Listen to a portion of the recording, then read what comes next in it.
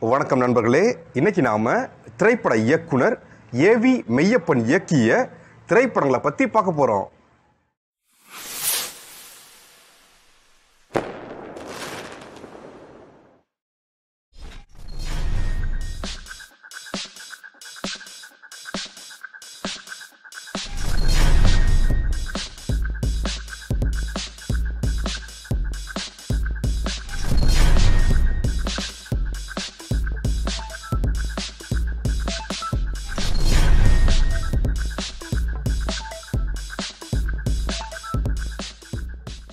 ஒரு திரைப்பட இயக்குனராக இயக்குனர் ஏவி மெய்யப்பன் அவர்கள் நான்கு திரைப்படங்களை இயக்கியிருந்தாலும் இவர் சில திரைப்படங்களில் எழுத்தாளராகவும் தயாரிப்பாளராகவும் பயணித்திருக்கிறார்.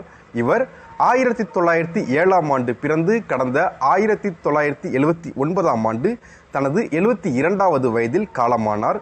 இவரது இயற்பெயர் ஏவி மெய்யப்ப செட்டியார். இவர் ஏவிஎம் ஸ்டுடியோவின் நிறுவனரும் ஆவார்.